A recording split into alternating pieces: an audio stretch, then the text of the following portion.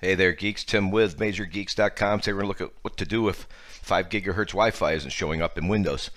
Shouldn't be too tough to figure out, and the beauty of it is I just got done fixing my wife's computer that was running slow. And when I checked it, it only supported 2.4 and not 5. So there's a couple things you can do, and this is exactly what I did. First thing I did was update drivers. And if you follow the link in the description, you can get to this page for the rest of these links. This story right here jump right to number three. Get the driver from your computer manufacturer. You have a specific problem. Do not use a driver updater. Go to your manufacturer, and while you're there, whether it's a computer manufacturer or network card manufacturer, you want to confirm that 5 gigahertz is actually supported, which is exactly where I ran into the problem with my wife's computer when I realized one way I could tell is my router is set up with my two addresses, so it shows the regular, which is my, my router name is it hurts when I pee. So it's I it hurts when I pee and then it hurts when I pee five. So my wife did not show the it hurts when I pee five, meaning that five gigahertz wasn't supported. So I actually dug up an old what I have Logic no Netgear A 2610 6210 and when I went to the page I saw dual band. You see dual band then it's supported and we can work out your problem. Another way to do it is PowerShell. Press your Windows key plus X and hit PowerShell. And we want to type in this command right here, netsh wlan show drivers. Let's do that. Now, what we're looking for is this number right here. You could have a whole bunch of them show up. The more the merrier as dumb as it sounds, under radio type supported, and I will tell you why. You can look right here, again on the guide. If you see these three, you are 2.4 only. If you see these two, you are 2.4 only. If you see these or even more, as I have here in the screenshot, so you can see I have the 802.11a, which tends to be, as you notice, NGB and sometimes the reason they're repeated is they'll show up with just those three and nothing else. A is one of the big ones that you can see is here that isn't in the 2.4 gig. So for the most part, if you happen to see A in there, it should be dual band. But again, as you see, these three at a minimum, I have one, two, three, four, five, six. So there you have it. And this will tell you whether you even support it. And of course, you might need to check if your router supports it, meaning now you got to look up your router go online and look it up. But I mean, I've got a router here. It's we're in 2020 here of March, and I've had the same router here for three or four years, and it supports it. So there's a pretty good chance, unless you got a real ancient router, that it's supported. So check if your card supports it. Check if your router supports it. And then, of course, you should see when you go looking for internet, there's my 5. That means 5 gig.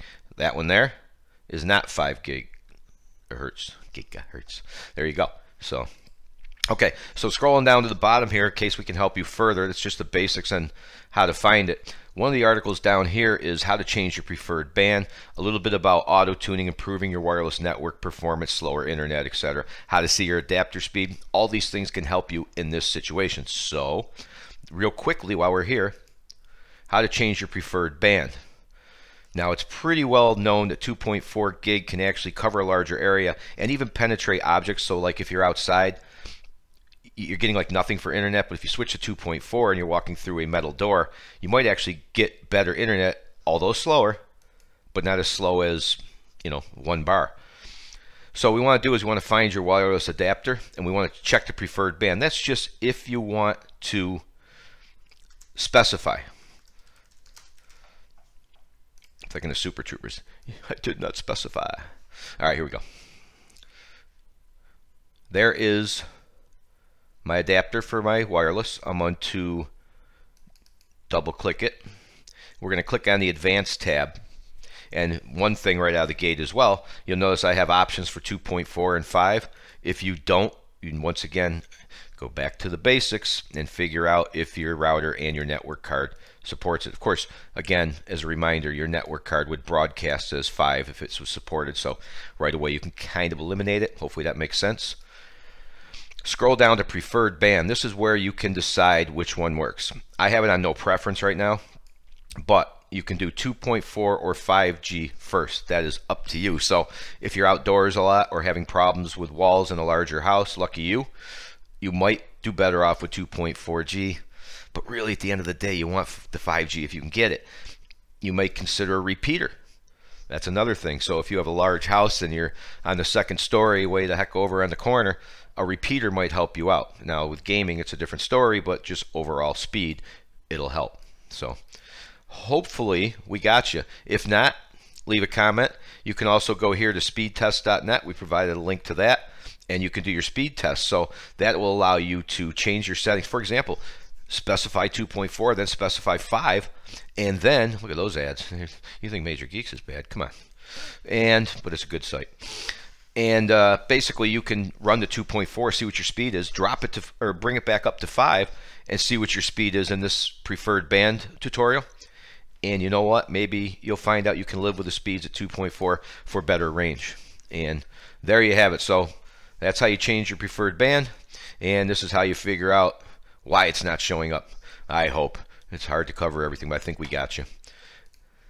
At the bottom of the video as it closes is a Major Geeks logo. You click on that and you can subscribe, which is always appreciated. And a like if we helped you out. Leave a comment. I try to respond to everything. And I even try and do it politely. I'm not very good at it, but I try. All right, guys. Thanks for watching as always.